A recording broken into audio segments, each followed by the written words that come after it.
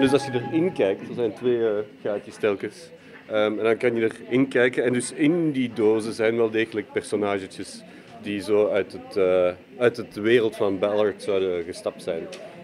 Nou ja, tafereelen. Hier zitten ze televisie te kijken en hebben ze uh, oneenigheid of wat dan ook. De installatie van Chris is geïnspireerd op verhalen van schrijver James Graham Ballard. Die schreef vooral apocalyptische science fiction romans. Wat gebeurt er allemaal? uh,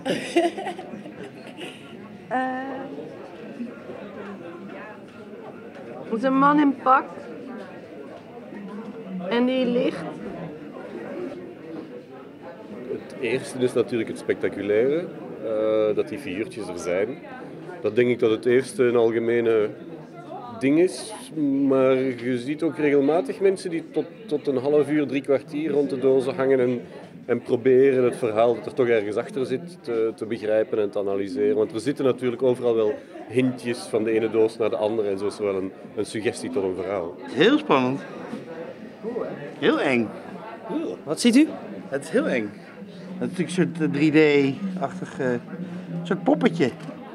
In de Hofpoort opende Spaces Within. In de setting van een leeg kantoorgebouw zijn een viertal installaties. Een maritiem landschap, een set futuristische kijkdozen, een Thaise tempel en een ziekenhuis.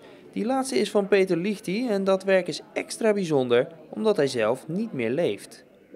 As Peter Lichty died, he left us a whole lot of rough material and he left us uh, the dedication, the whole diary of his hospital diary.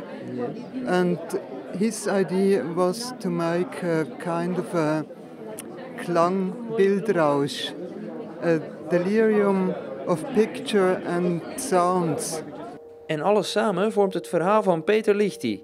Hij lag op sterven en wilde een soort ode brengen aan zijn leven en de kunst.